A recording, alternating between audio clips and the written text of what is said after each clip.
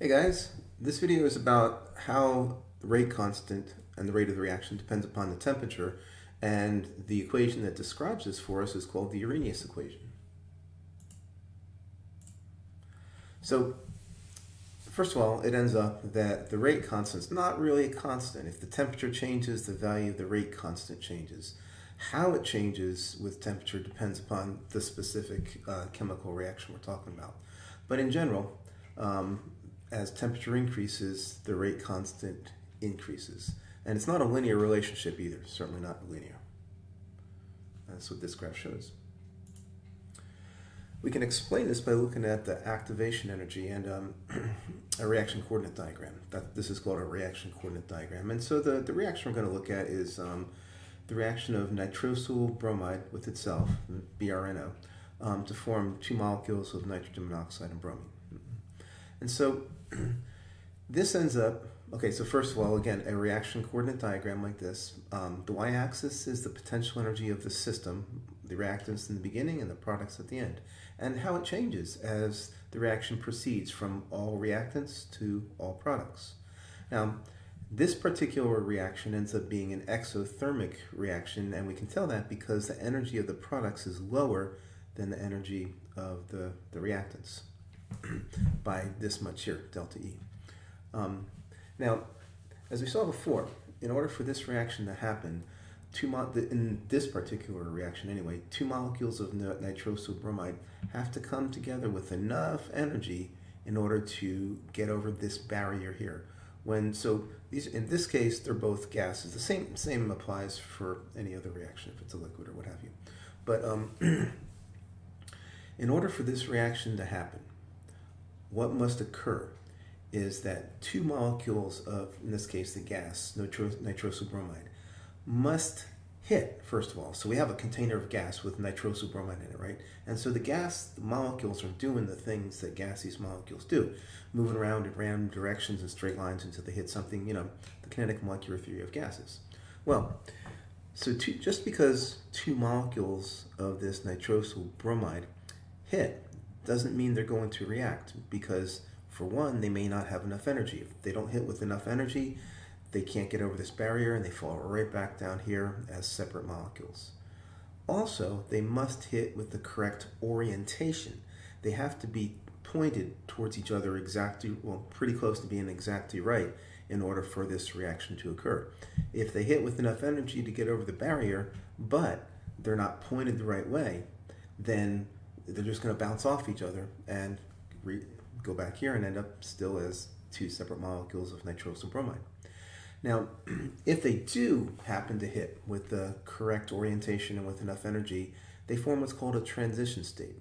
Um, and that's that's it. We're able actually at this point to use lasers, um, very um, quickly pulsed lasers, um, to probe these molecules as the reaction occurs. And we can actually get a picture of what this looks like. It's really cool um, as the reaction's happening. And so the transition state is when the electrons are just starting to flow and break old bonds and reform new bonds. Okay. Um, so in this case, what's happening is the bond between the nitrogen and the bromine on each molecule is starting to break, and we're starting to form a bond between each of the bromine atoms. And and you know, so you can see if this doesn't hit with the right orientation, if instead of coming up this way, um, maybe this um, on this molecule the oxygen hits the bromine.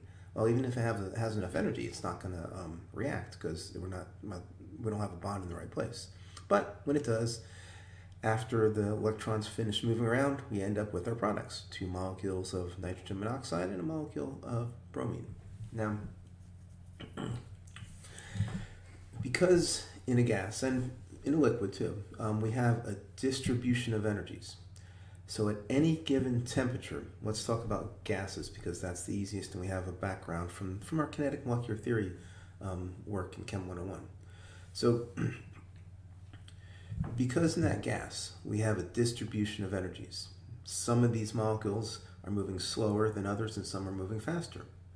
Um, but that there's some average kinetic energy, which means there's some average speed with which these molecules are moving.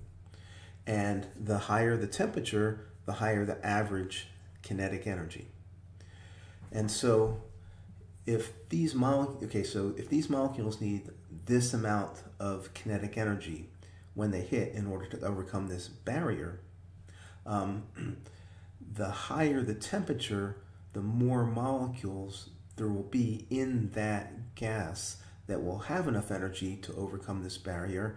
And at any given instant, more molecules will be colliding with enough energy to get over this barrier. And that means more of them with enough energy and the correct orientation will be colliding toward to get over this barrier. So as we increase the temperature, we have more opportunities for this reaction to happen, and it happens more, more often, which means faster. That's that.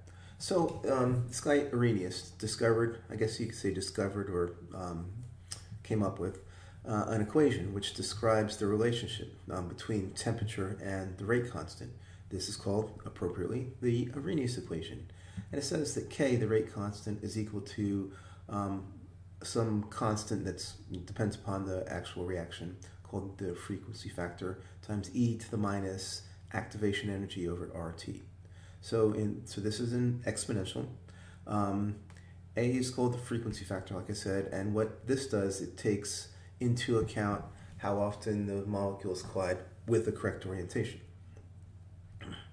Um, this factor takes into, you know, the exponential with the activation energy, um, takes into account um, how often they collide with enough energy. So let's go back and make sure we're clear on what that E sub A is. E sub A, the activation energy, is this barrier right here. It's how much energy these molecules need to gain, or to, to have rather, in order to overcome this activation barrier. So R is um, the gas constant in, with joules per Kelvin mole of the unit, so 8.3145 is the value we use. T is the temperature, must be in Kelvin as always. E is the activation energy, and A is the frequency factor. K, of course, is rate constant. so if we take the natural log of both sides of the Arrhenius equation, natural log of k on the left, remember natural log of xy is equal to the natural log of x plus the natural log of y.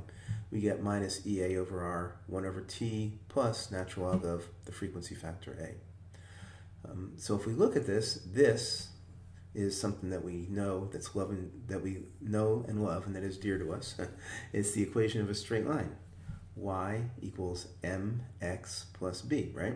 Where this, if we plot the natural log of the rate constant versus 1 over the temperature in Kelvin, we, we will get a straight line whose slope is negative activation energy over r, and whose y-intercept is natural log of the frequency factor. So we can use that um, to um, do some calculations. For example, um, we can find the activation energy for this reaction, um, or any reaction, if we have data like this. So, um, so this is data for this reaction right here, the reaction of nitrogen monoxide with ozone to make nitrogen dioxide and oxygen. They're all gases. Um, this is the rate constant at different temperatures. Notice as the temperature increases, the value of the rate constant increases. so um, be, it would be useful exercise for you guys to do this yourself. Just pull up a spreadsheet real quick. Um, plot natural log of K versus 1 over the temperature. So put these numbers in your spreadsheet, tell it to calculate this, and um, you know, so the y-axis is going to be natural log of K, the x-axis will be 1 over the temperature, and tell your spreadsheet to give it the, um, give your graph the equation of the best fit straight line. Um, from that, you can find the activation energy because the, the, the slope of that line is negative EA over R. So all you have to do is take that slope, multiply it by negative 8.3145 joules per Kelvin mole. Um, so go ahead and give it a shot and come on back when you're done. Welcome back, guys. So here's what I got. So um, I got this this line. It's pretty straight. Um, there's my slope, right? So the um, this slope here is equal to negative EA over R. Um, and so rearranging this, solving for the activation energy, multiplying by negative R, um, the negatives go away, okay, 0.3145 times the, um, right here, um, Kelvin, and we get 11,937 joules per mole, or if we put this in kilojoules per mole, which is pretty common, 11.9 kilojoules per mole. Not too bad, right? We also, if we wanted to, we could find the frequency factor. So 28.7 is 28.07 is the natural log of the frequency factor. So e to the 28th, which is a pretty big number, would be the frequency factor. All right. Well, we don't always have, don't worry, we don't always have to do a graph to, um, to solve these problems. If we know the rate constant at two different temperatures, and we certainly did, we had it at more than two temperatures in that previous problem, it works out like this. So plugging in, you know, setting up the Arrhenius equation for the first temperature, call that temperature 1, natural log of K1 equals negative EA over R, 1 over T1 plus natural log of A. Same thing for the second temperature, where the subscripts 2 represent whatever the second temperature is. So all we have to do, guys, is if we subtract the, the second equation from the first, okay, first of all, natural log of A goes away, right? Next, we get natural log of K1 minus natural log of K2, which is the same as natural log of K1 over K2, and that's equal to this term minus this term. Well, first of all, there's an EA over R in common, so we can pull that out in front. And because the minus here makes this a positive, what I do is I say, okay, we have positive EA over R times 1 over T2 minus, this gets our negative sign here, 1 over T1.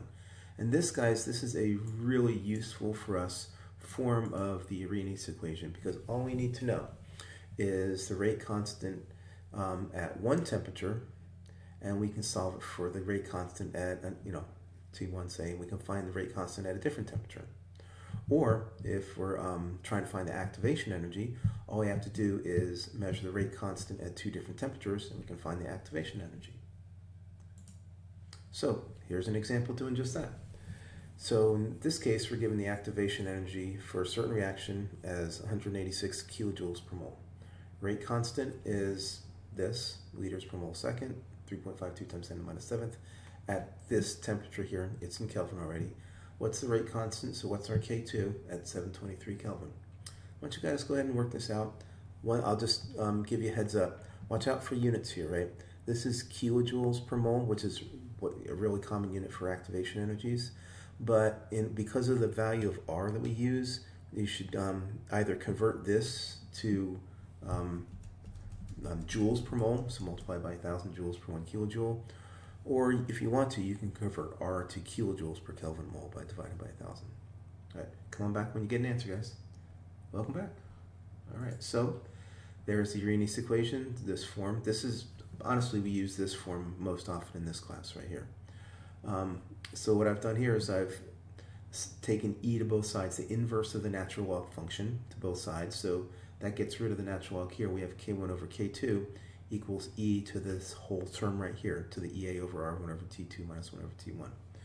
Um, and then we want k2. So if we take k2 over here and this whole exponential term down here, we get k1 e to the minus ea over r 1 over t2 minus 1 over t1. This negative just means it's in the denominator, really. Now we know everything over here, right? Um, so we know our K1. Um, what I did here is I converted my um, activation energy to joules per mole. And just to keep it simple, all I did was I replaced the kilo with times 10 to the third. I'm not worried about having it in exact scientific notation with one digit to the left of the decimal. I get the same answer. Um, there's my R, there's my T2. Carefully get the T's in the right place, T2 and T1 and solve this. Guys, put it in your calculators. Please make sure you get the same answer. And I find my um, rate constant at this new temperature, 723 Kelvin, as being 4.11 times 10 to the minus 3 um, liters per mole second. Um, notice it, it got a lot bigger from 10 to the minus 7th to 10 to the minus 3 as the temperature increased. And that's all there is to it, guys.